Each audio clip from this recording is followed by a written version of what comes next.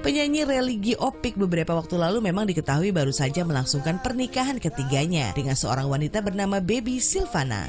Pemberitaan kabar bahagia Opik tersebut tentunya juga sampai di telinga mantan istrinya, Dian Rosita Ningrum.